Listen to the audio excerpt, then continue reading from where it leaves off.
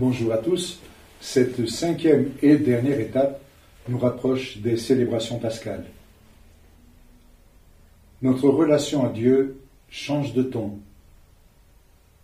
Faisons une place plus grande à l'accueil. L'Esprit du Seigneur vient animer en nous une plus grande intimité avec celui qui nous fait passer des ténèbres à la lumière. Accueillons simplement en nous les souffrances physiques, morales, la mort et la résurrection du Seigneur. Sa généreuse soumission, totale et parfaite, s'emparera doucement et effectivement de toutes nos bonnes intentions et des attitudes positives que nous avons essayé de développer au long de ce chemin de carême. Où est le sens fondamental de la croix? Moins dans la souffrance et l'humiliation que dans l'attitude du Christ qui se met dans les mains de son Père. Il accepte l'entremise des hommes pécheurs en soumission à la volonté de son Père. Quand Jésus invite ses disciples, quand il nous invite à prendre notre croix, il nous invite avant tout à une acceptation, à nous soumettre. Il nous en coûte de nous ouvrir, de sortir de nous-mêmes, de nous abandonner dans les mains d'un autre, fut-il Dieu? Nous tendons à nous refermer sur nous-mêmes, à nous sauver par nous-mêmes, à échapper. Expérimentons, frères et sœurs, la profonde satisfaction de céder à Dieu, car céder à Dieu, c'est triompher. Mais où est le sens fondamental de la résurrection? C'est aussi la soumission, une reconnaissante appartenance. La gloire du Christ n'est pas une simple récompense pour son sacrifice. Au contraire, le sacrifice lui-même devient gloire. En tant qu'homme, il appartient entièrement à Dieu, ce qui nous permet d'être tous à notre tour tout à Dieu Il n'y a pas de plus grande victoire, ni de plus grande joie que d'appartenir à Dieu et d'entrer dans la plénitude de la liberté qu'il confère à tous les siens. Notre mort, comme chrétien, c'est alors de n'être qu'un passage obligé en vue de récolter les fruits de notre soumission à Dieu, elle devient le sommet de notre vie. Libérée des pressions et des obstacles qui ont entravé notre action, notre vrai moi s'affirme et, en union avec le Christ, se met pleinement, librement, définitivement entre les mains du Père. Dans cette soumission ultime, nous rassemblons tous nos efforts stériles, toutes nos bonnes intentions souvent restées infructueuses. C'est donc un moment à désirer avec ardeur. Nous devons et nous pouvons nous y préparer. Mais ici et maintenant, dans notre présent, participons d'ores et déjà à la mort et à la résurrection du Seigneur. Soyons des témoins vivants du triomphe de Jésus qui a vaincu la mort et toutes les limites humaines. Si nous ne nous affranchissons pas de ces limites dans notre condition actuelle, efforçons-nous de les intégrer avec une liberté intérieure renouvelée. Comme nous le rappelle Saint Paul, nous sommes les grands vainqueurs grâce à celui qui nous a aimés. J'en ai la certitude, ni la mort, ni la vie, ni les anges, ni les principautés célestes, ni le présent, ni l'avenir, ni les puissances, ni les hauteurs, ni les abîmes, ni aucune autre créature, rien ne pourra nous séparer de l'amour de Dieu qui est dans le Christ Jésus. Romains au chapitre 8, versets 37 à 39. Notre union avec le Christ, grâce au mystère pascal, est réelle. Le Christ Seigneur, mort et ressuscité, est bel et bien présent en nous et en toute la création Saint Paul dit que le Christ, celui qui était descendu, est le même qui est monté au-dessus des cieux pour remplir l'univers. Lettre aux Éphésiens, chapitre 4, verset 10. La présence réelle du Christ dans l'Eucharistie ne devrait jamais nier implicitement la présence réelle du Christ au-delà du signe sacramentel. L'Église n'a jamais soutenu que la réalité est contenue de manière exclusive et exhaustive dans le signe. Les signes nous font mieux prendre conscience de la présence du Christ. Pouvons dire, devant l'Eucharistie, nous nous alimentons à cette présence du Christ pour continuer à accueillir cette présence du Christ dans toute notre vie? Les signes nous font mieux prendre conscience de la présence du Christ, mais signifient précisément qu'il est avec nous toujours et partout. Que l'éclat de cette vérité illumine, frères et sœurs, tout notre chemin de vie. Dieu est amour. Impressionnante formule. Ça vaut la peine qu'on s'y arrête et qu'on se laisse interpeller. Dieu est amour. Trois mots essentiels, interconnectés, pour exprimer que l'absolu, le tout autre, l'être à part, est aussi la perfection de la relation. Nous, nous ne sommes pas amour, nous avons de l'amour, plus ou moins. Mais seul Dieu est amour. La révélation chrétienne reconnaît bien la réalité ultime. Un seul Dieu, un Dieu unique. Mais le Christ nous dévoile la vie intérieure de Dieu. Et cela va bien plus loin. La réalité ultime, ce Dieu unique, est relation. Il est Trinité. Il est Père, Fils et Esprit Saint.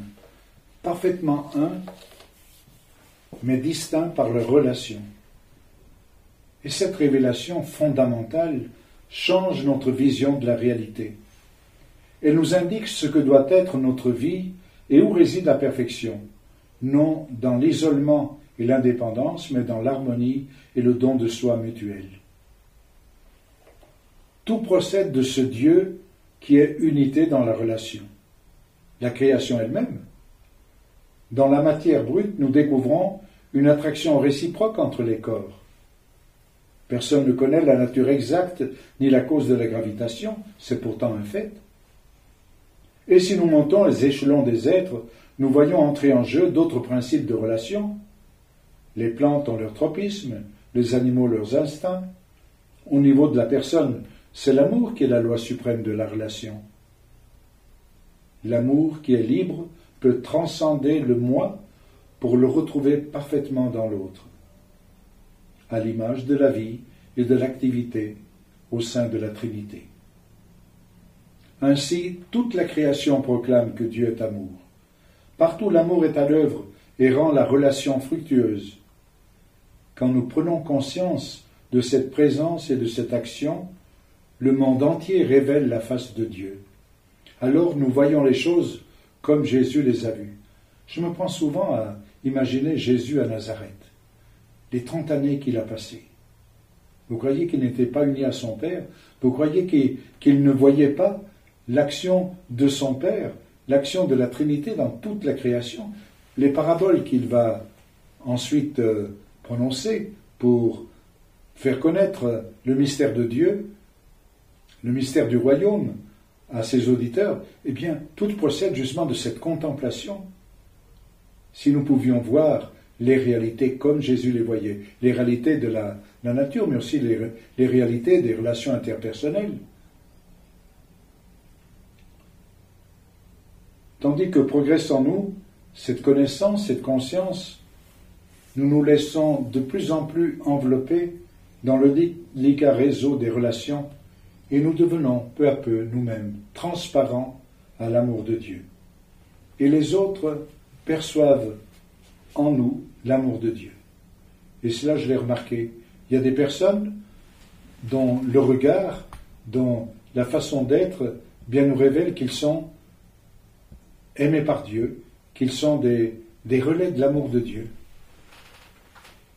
Je me souviens toujours de Mère Thérèse de Calcutta, lorsqu'elle nous disait à Rome, euh, à une grande assemblée qu'il y avait, comment une fois elle avait été appelée au chevet d'un moribond, c'était à New York, qui avait été laissé comme un chien dans la rue, laissé crever, comme on disait. Et elle est allée le voir, elle a pris un taxi, elle est allée le voir, et elle l'a regardé. Elle l'a regardé. Je pense que son regard était plein de tel amour qu'elle nous disait, mais après, cet homme est mort entre mes bras, mais qu'il ressemblait à un ange de Dieu. Eh bien, c'est ça. Hein, quelqu'un, Mère Teresa et d'autres, hein, qui ont un tel regard, qui laisse tellement passer l'amour de Dieu, et eh bien que les autres se sentent aimés par Dieu à travers cela. Je me souviens aussi du regard du pape Paul VI. Hein, il avait un regard profond qui semblait vous transpercer le regard, un regard clair. Comme j'ai étudié à Rome à son époque, j'ai eu l'occasion plusieurs fois de croiser le regard de Paul VI, qui était, qui était un, regard euh, euh, fort et profond. Mais on, sentait, on sentait qu'il y a une présence, une présence de quelqu'un.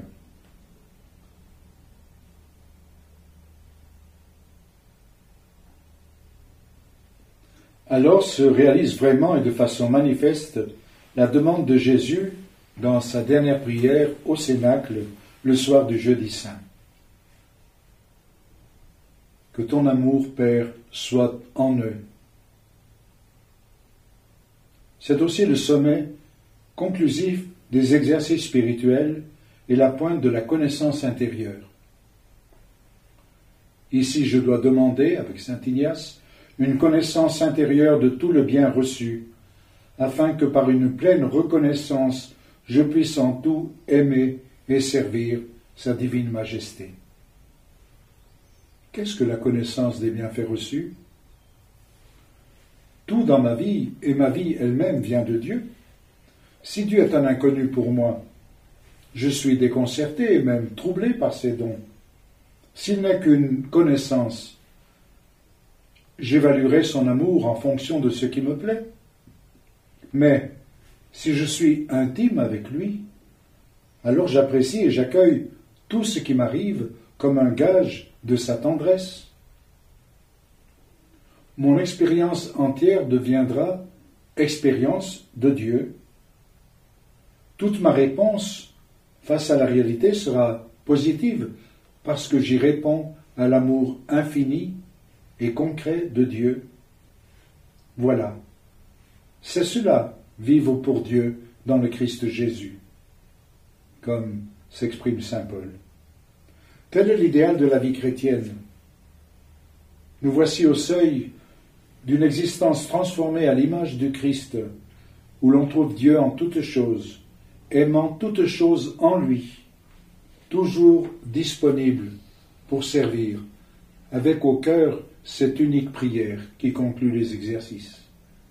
Prends, Seigneur, tu en as pleinement le droit, et reçois, en libre don de ma part, toute ma liberté, moi-même en tant que je puis me déterminer, ma mémoire, mon intelligence et toute ma volonté, les dons de ma nature spirituelle, tout ce que j'ai, mes qualités physiques, tout ce que je possède, des biens de ce monde. Tout est à toi, Seigneur, qui est la source de toute réalité. Tu me l'as donné sans que cela ne cesse d'être à toi. Je te le rends pour que cela devienne davantage mien. Dispose-en entièrement selon ta volonté, qui est maintenant ma volonté à moi et mon ardent désir. Donne-moi ton amour, qui est ton être même, et ta grâce, ton esprit qui habite en moi, et je ne demande rien de plus car la joie parfaite est de t'appartenir totalement dans le Christ Jésus. Amen. Un premier texte que je vous propose au chapitre 20 de Saint Jean, les versets 19 à 23. Le Christ est vraiment ressuscité, il a vaincu la mort et toutes les faiblesses humaines. Nous célébrons cela à Pâques le Christ confie à ses disciples une mission dimension du monde. Nous le célébrerons le jour de l'ascension. Le Christ est avec eux par son esprit dans la réalisation de cette mission depuis la Pentecôte. Trois convictions fermes qui accompagnent l'Église à travers les siècles. Trois convictions qui la fondent comme communauté chargée de vivre du mystère pascal, de proclamer et d'amener l'humanité à reconnaître que Jésus-Christ est Seigneur à la gloire de Dieu le Père et qu'en lui nous sommes sauvés. Une seule question pour la réflexion personnelle et pour le partage. Comment est-ce que je fais mienne dans la pratique chacune de ces trois convictions? Le Christ est vraiment ressuscité, il a vaincu la mort et toutes les faiblesses humaines, le Christ confie à ses disciples une mission aux dimensions du monde, le Christ est avec eux, avec nous, par son esprit, dans la réalisation de cette mission. Comment est-ce que ces convictions m'habitent ou comment vais-je faire en sorte qu'elles m'habitent et qu'elles soient un moteur, une, dynamique pour ma vie? Un autre texte que je vous propose, c'est au chapitre 8 de Saint, de Saint Paul, la lettre aux Romains, chapitre 8, versets 28 à 32. Être saisi par le Christ, c'est être pleinement libre, maître de sa destinée, non en s'évadant du monde, mais en acceptant toute peine de ce monde, muet en triomphe par la souffrance du Christ. Notre expérience humaine reste celle de la faiblesse, de l'impuissance à réaliser pleinement notre idéal. Cependant, une force cachée agit en nous. L'Esprit du Christ nous maintient vivants pour Dieu.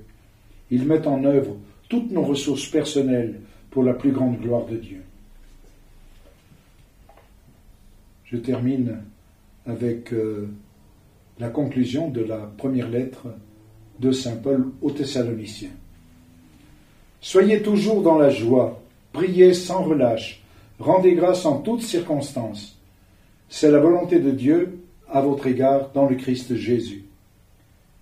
N'éteignez pas l'esprit, ne méprisez pas les prophéties, mais discernez la valeur de toutes choses.